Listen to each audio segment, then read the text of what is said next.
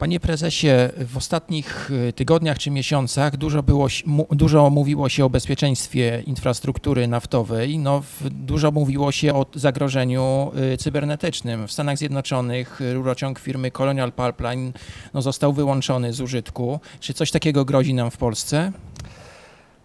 Znaczy, y, jeśli popatrzymy na ataki hakerskie, ataki terrorystyczne, bo właściwie można by niekiedy podciągnąć je do tej nazwy, no to one są na tyle e, rozwinięte i na tyle skomplikowane, na ile też my się rozwijamy. I tak naprawdę każdego dnia wymyślane są coraz nowsze metody, e, żeby zrobić szkodę, bo właściwie o to w tym chodzi.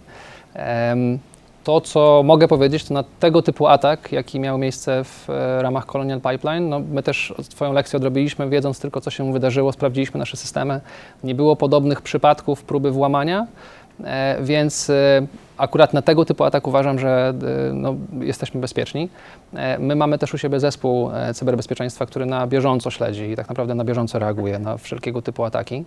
E, a to, co i dlaczego tak trochę staram się mówić o tej potencjalnej możliwości, bo naj, najważniejszym, ale też potencjalnie najwrażliwszym elementem tej, tej układanki bezpieczeństwa jest człowiek.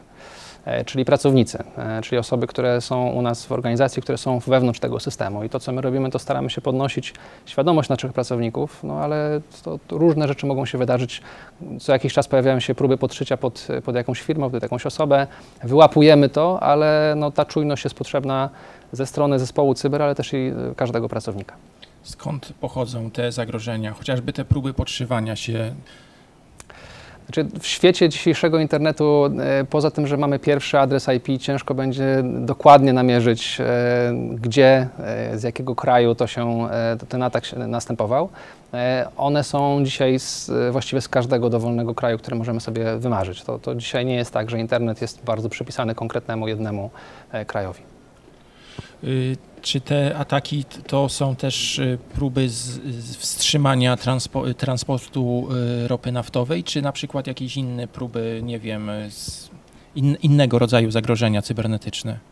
Znaczy, z punktu widzenia tego, co dzisiaj się dzieje w przestrzeni, to tak naprawdę są to próby złamania zabezpieczeń w jakikolwiek możliwy sposób. To z tego, co ja odczuwam, tego jak obserwuję internet i to, w jaki sposób się bronimy, to po prostu jest szukanie luki e, i jeżeli byłaby znaleziona, to potem sposób, e, jak można byłoby to wykorzystać, no to, to jest coś, co jest taką inwencją hakerską, tak bym to nazwał. Więc e, to nie jest konkretne nacechowanie na to, aby albo wyciągnąć informację, albo przerwać. Myślę, że to jest po prostu szukanie, co można byłoby zrobić. Stąd tak duża waga w naszej organizacji, żeby się przed tym bronić.